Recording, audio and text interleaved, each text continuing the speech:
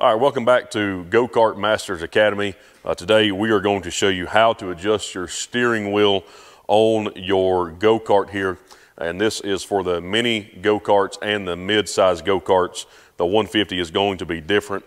But sometimes when you get them, or if you replace your rack and pinion, uh, the steering wheel will be, your, your wheels might be straight, but your steering wheel your steering wheel might be turned sideways. And so what we're going to show you today, uh, what you're going to need and how to align this steering wheel. And this one's aligned, but uh, for the fact that we'll go through it and show you how to do it. So the first thing that we're going to want to do is locate our rack and pinion. Uh, this rack and pinion here is for your steering. And on the bottom here, as where your steering shaft comes down, you're going to have this little plastic cap. And uh, usually what you want to do is pop it off with a screwdriver. Uh, you might even be able to get your nail up underneath there.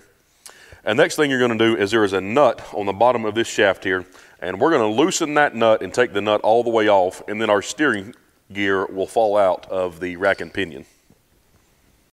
All right, so we have a 17 millimeter socket and uh, our nut here. We're going to loosen or remove our nut off of the steering shaft here.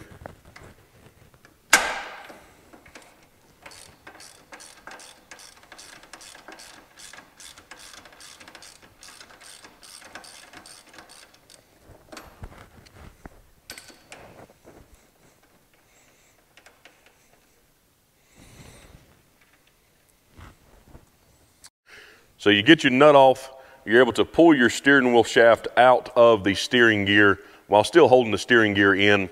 And then we're going to drop our steering wheel uh, back in uh, wherever it needs to be aligned. All right, once we have our steering wheel in the position that we want it, we're going to take our nut and just screw it back on the end of the shaft there and then tighten it back down.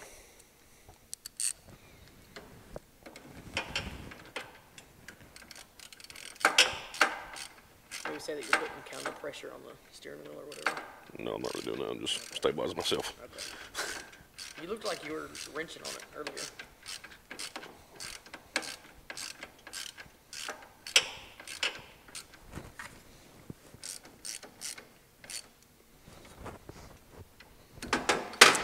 Next, we are going to get our uh, cap and put our cap back on here. And if we do not put the cap back on here, uh, then we're going to get dirt or water up in our rack and pinion and ruin the gear.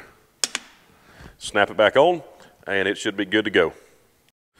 All right, here we have removed these pieces from the go-kart here, and we want to show you uh, so you have a good idea of what you're doing. So here is your steering shaft. Uh, the nut that you took off is on the bottom of the steering shaft here.